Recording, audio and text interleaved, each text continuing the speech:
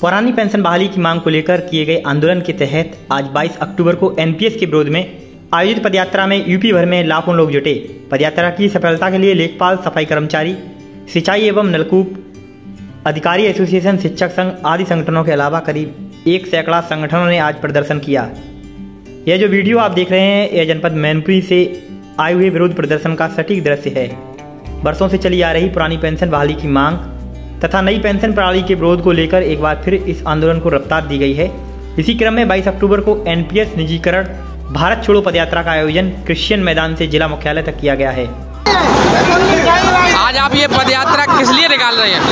आज हम ये पदयात्रा एनपीएस बहाली वापस भरने के लिए कर रहे हैं और ये पदयात्रा अति आवश्यक है। इससे हम सरकारें जो हमारी सो रही हैं शायद उनके जगने का काम हो जाए। और अगर सरकारें नहीं मानी तो हम इसी तरीके का आंदोलन करेंगे और अभी तो केवल ये पदयात्रा है आने वाले समय में कार्यालयों में ताज़ा डालकर हम लोग आंदोलन करेंगे जय श्री राम।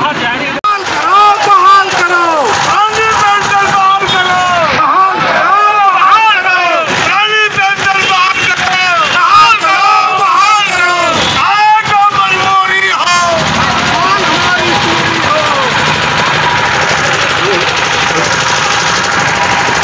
चाहे जो मजबूरी हो। चाहे जो मजबूरी हो। मांग हमारी हो। चाहे जो मजबूरी हो।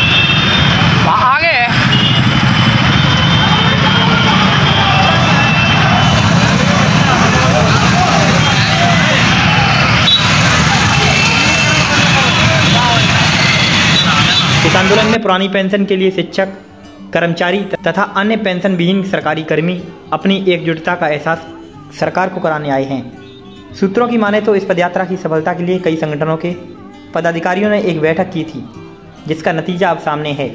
आंदोलन को धार देने के लिए ब्लाक पदाधिकारियों को भी सक्रिय किया गया था। इसी क्रम में अटेवा द्वारा भी कई दिनों तक संपर्क अभियान जारी रखा गया था।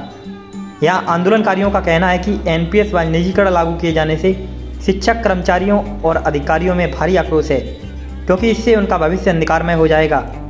प्रदेश में तेरह लाख शिक्षक कर्मचारी इस योजना से जुड़े हैं। सरकार का एक आदेश इतनी बड़ी संख्या को प्रभावित कर सकता है।